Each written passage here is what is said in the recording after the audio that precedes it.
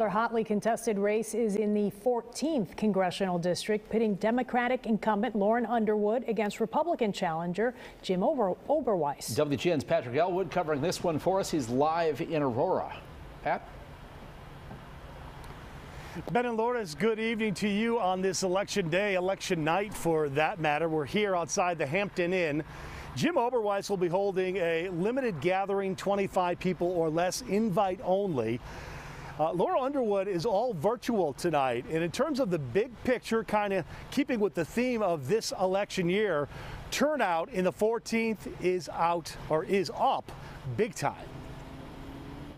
Incumbent Lauren Underwood unseated a four-term Republican to win the 14th in 2018. A political newcomer who holds a degree in nursing, she worked in healthcare policy for the Obama administration. She was the first female and person of color to win the 14th, which runs from Chicago's suburbs to the Wisconsin state line, including parts of McHenry, Lake, DuPage, Kane, Kendall, and Will counties.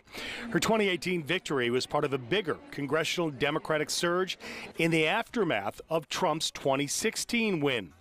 But she has been cautious in not aligning herself with any left leaning House advocacy groups. Her campaign this time has focused on the president's response to the COVID 19 pandemic. She's 34 years old and lives in Naperville. Her opponent, Jim Oberweis, is 74. He resides in Sugar Grove.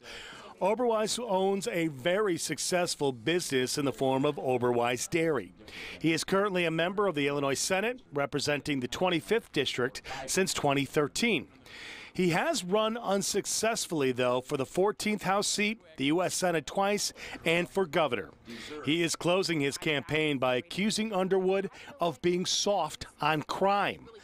Just yesterday, Oberweis appeared at the president's rally in Kenosha, receiving Trump's endorsement, the president calling him a great businessman who will uphold Second Amendment rights and protect the district from the radical left. Today, we caught up to voters in DuPage County casting their ballots. Sarah is voting for the first time. Jeff is a veteran of Election Day. It was enough to make me vote this year. That high stakes, huh? Yeah, definitely high stakes. It feels patriotic to me just to uh, be able to, you know, live in a country where we're free to vote, and I want to vote on the day I'm assigned to vote. Voter turnout we are hearing in DuPage and Will counties could be record setting. We'll keep tabs. Reporting live from Aurora, Patrick Elwood, WGN News. Back to you guys in the studio.